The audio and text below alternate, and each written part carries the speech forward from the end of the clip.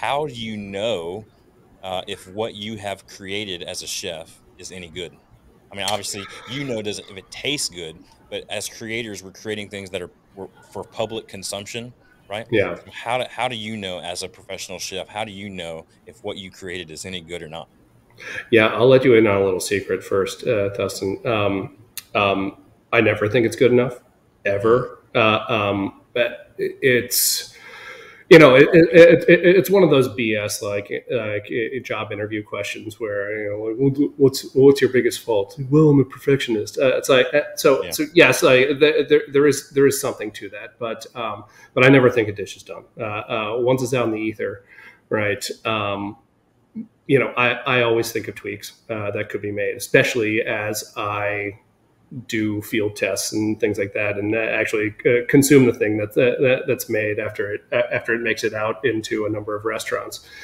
Um, so, so I never really think it's done, but um, you know, with um, with groups um, that own a number of chain restaurants like Hardee's and Carl's, you know, thousands of restaurants um, uh, or, or, hundreds or even a handful of restaurants. If you're making the same thing in multiple locations, um, you got to test it, right? It, it, you it, first you need to, uh, and this is what I do, and uh, it's, it's worked well for my career so far. Um, I surround myself with marketers that are smarter than me. Uh, um, and uh, with culinarians whose palates are better than mine.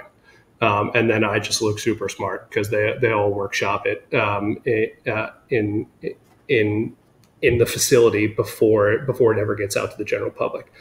You know, and then if you have the means um, and the testing medium and uh, things like that, um, you workshop it with with your core consumers, right? And um, and get an idea if if it's hitting all the marks that you designed the food for. Um, will they buy it? How often will they buy it? Is it is it like a life changing uh, experience? Is it duck them? fried duck? right, right, right, right. Uh, uh, uh, are they taken to another place?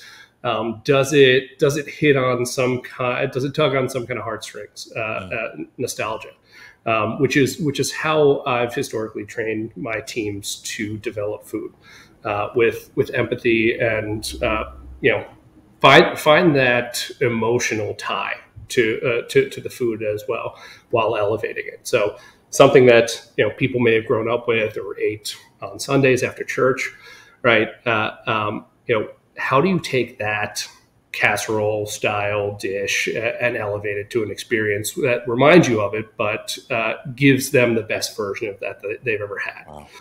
So, uh, so it, you know, it, it really depends on the dish, but um, in my head, I never think it's done. Uh, um, but uh, but you know, the consumer will tell you whether or not they like it.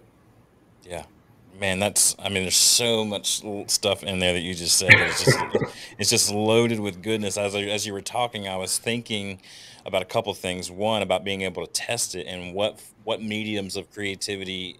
Uh, get to have that testing like you said in my first question that i asked you you kind of get some of that immediate feedback if you write a song or poetry or a short story or something like that that you need to send out uh, into the into the world, it, it's going to take a minute for people to really kind of digest it, for lack sure. of a better term, right? But for but for food, you get that immediate like, ugh, I don't like this, or mm, yes, give me more. Yeah, yeah, that that that like table pound, like, ooh, that yeah, is the, good. The table pound is is is the money shot, I imagine. Yeah.